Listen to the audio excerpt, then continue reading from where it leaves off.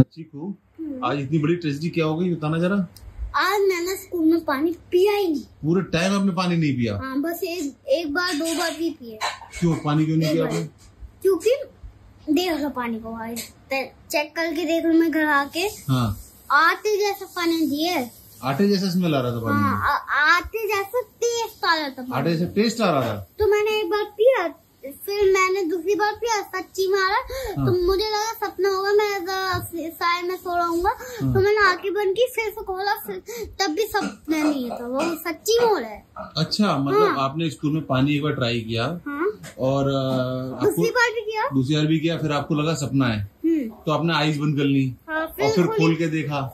तो वो सपना नहीं था सच्ची में हो रहा था ऐसा। हाँ। स्कूल के अंदर ही आपने आईज क्लोज की बंद की। हाँ।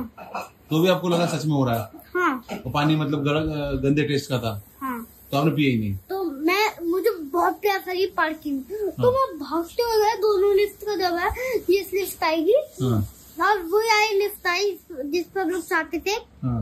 और फिर भाग के गए अभी पानी पिया मैंने। अच्छा। हम्म, अब आराम मिल गया? हाँ। तो आज गलती किसकी थी इसमें?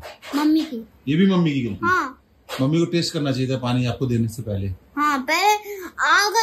करना चाहिए था। जब सुबह मम्मी ने पानी आपको स्कूल बस में स्कूल बॉटल में रखा तो एक बार ट्राई करना चाहिए। हाँ। मुझे लगता है सारे पेरेंट्स